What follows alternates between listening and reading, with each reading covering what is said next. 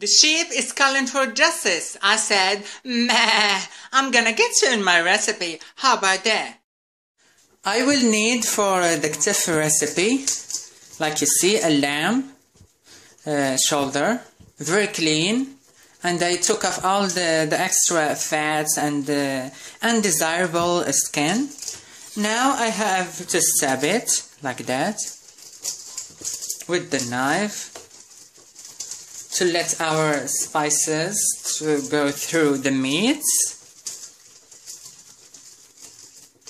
like that flip it at the other side like that I have to add one tablespoon from uh, Smen. This is a traditional uh, product we use here in Morocco. It's very spicy, fermented butter. I have here half uh, onion, chopped, very fine. And uh, here I have one tablespoon from uh, uh, garlic. Yes, yes, yes, yes, yes. Here, well, half tablespoon from uh, uh, seasoned uh, salt. It has a, a really a nice taste. I said, why not to use it too? And here, this is uh, the first uh, tablespoon from butter.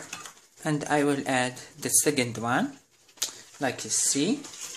I have to rub the meat Oh, it's so nice. ah, when you wrap the meat, you have to... Mm, don't worry, I will add also another ingredient. Now I to speed the process. Yes, now I have to add my I already have uh, eye uh, measurement about uh, half a tablespoon from black pepper.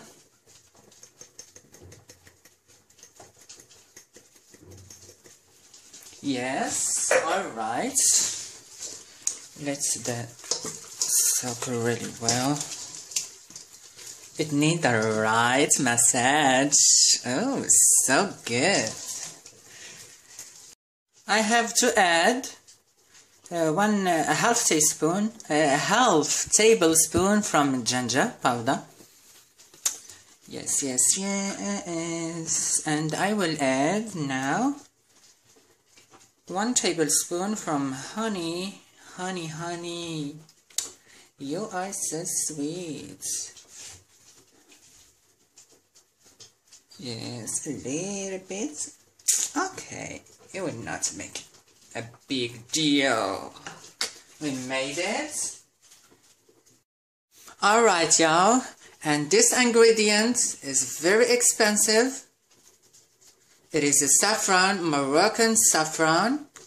I toasted a little bit on uh, the heat, on a pan, not a pan, but uh, the cover of the pan. Now I have uh, like that between my hands.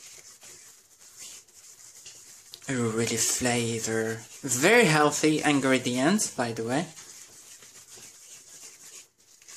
Like you see, you have to like that. I finished seasoned uh, my ktef. Now I have to, yes, cover it with the plastic wrap. Yes, like that. And I will let this ktef will chilled overnight. The more it's marinated, the more it's so good. Yes, you have to let your meat, even if it's chicken or lamb or whatever, it should be uh, an amount of time. Well, I will keep wrapping the, with the plastic wrap, like you see. So it doesn't matter So, like that. Yes. Finish. Well, to the freezer overnight, uh, the fridge overnight, and I will uh, back uh, tomorrow to finish our Dave. Okay, honey. Welcome back. Today is the day. Well, took uh, the wrap off our Ktef. Yes, like you see. I will turn the camera. I let it chill really nice and you see the juices, all of it. I will put the Ktef here in the baking pan and this sauce and I will use it for other thing. Well, I have to use my aluminium foil. Why? Because we need to cook uh, the ktef uh, inside and then we will need uh, a time to crisping up uh, the outside and get the brown color. We will do that together. Preheated oven on uh, 200 Celsius.